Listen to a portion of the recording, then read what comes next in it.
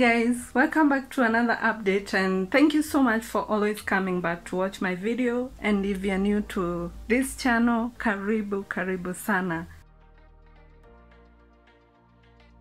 And today's update is about the construction of uh, James Gichuru to Lions Place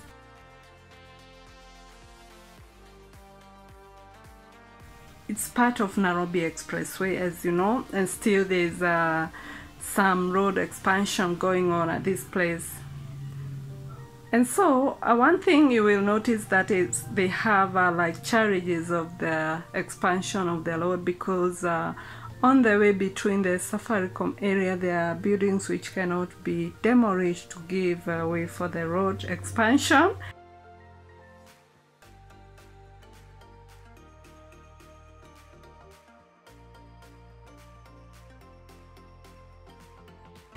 but they have uh, gotten space from James Gichuru as you go down then uh, at the, this area uh, ABC place to Safaricom? You'll notice that they could not uh, get enough space. So what they do they separate this load uh, with lanes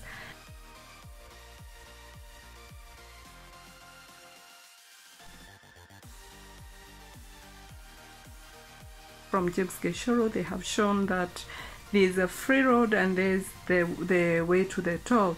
So the vehicles going to the toll use this um, James Gichuru, uh, the upper road, the highway, use the highway, but uh, to a certain place this road is not like separated. You have seen the Nairobi Expressway, they have even put uh, these rails to separate the road but here it's clear that they don't have space that's why they have already put the main toll gate at Lions Place because that's where they have a wider road, wider and uh, much space. So this is how it is. You can see the construction is still going on.